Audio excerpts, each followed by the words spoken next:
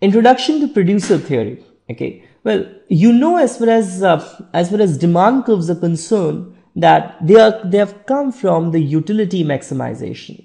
Okay. That is utility maximization approach has given rise to demand curves that how actually demand curves are derived you know there's that given an indifference curve given the budget line you can draw an you can draw a demand curve well supply curves they actually come from profit maximization approach of producers okay and this will make our model complete a demand curves and supply curves together also note that in case of demand curves okay in case of utility maximization approach prices are given to consumers. Okay. They're given to consumers. They're exogenously given to consumers. Consumers can't change prices themselves. But in case of producer theory, producers, they set their own prices. Okay. That is, though in perfect competition, even producers are given their prices and they can't charge higher price, lower price, or whatsoever. They're given the price. Okay. But in general, producers, they can set their own price and this gives them power over, over, over their own product. Okay. Other thing which you have to understand it that inputs is something which goes in the production process. They feed in the production process and this generate the outputs. What you get is basically the outputs. And what is the goal of the producer? Goal of the producer is to maximize profits.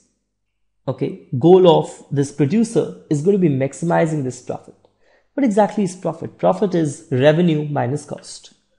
As you could see, profit is basically revenue minus cost. Uh, and how does producer maximize profit? This is going to be our huge argument in the next recordings. Well, producers, they maximize profit using efficiency in production. How does this efficiency is achieved?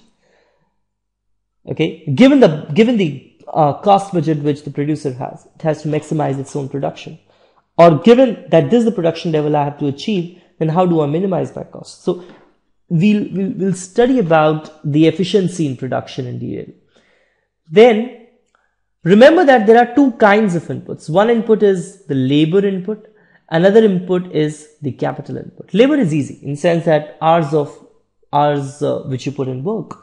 Okay, this is labor input. Well, capital is something which is difficult to generalize. Okay, um, well, capital could be buildings, your physical capital. Capital could be machines, again, a physical capital. Capital could also be a financial capital. Okay, but in order to make things simple, we'll consider capital as everything else that goes into production. Okay, apart from labor. So these are two kinds of inputs that you have. Other is a production function. Well, in case if we look at the production function, what exactly is the production function? Production function is the relation between the output, this Q, and these inputs, K and L.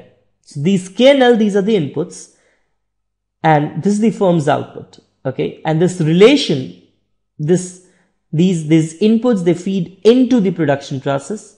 These inputs, they feed into the production process, and this generates the output. Okay, so these are the inputs uh, and uh, they're being used according to some production function, according to some relation between the output and input and they produce what is the firm's output. This, this small q is basically firm's output and this capital Q is market output. Okay. Well, this leads us to the, to the discussion of what exactly is the variable input.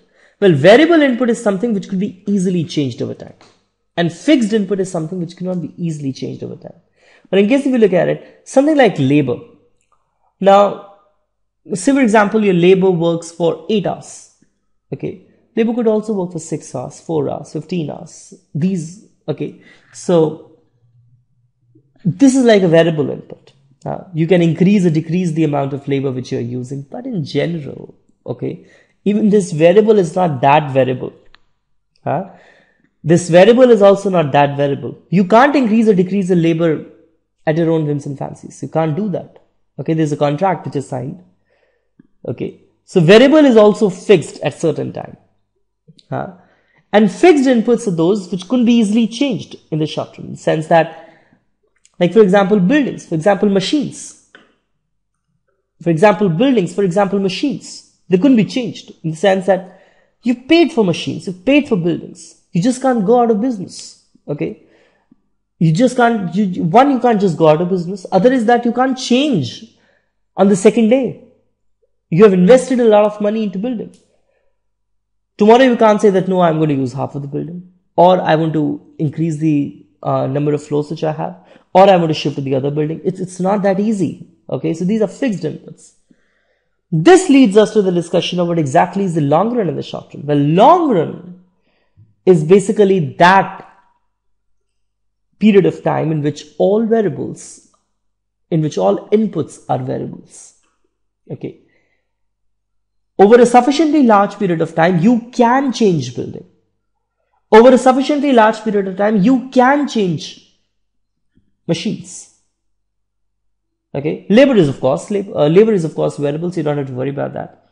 Short run is that period of time in which some inputs are fixed. For example, buildings. For example, machines. You can't change them.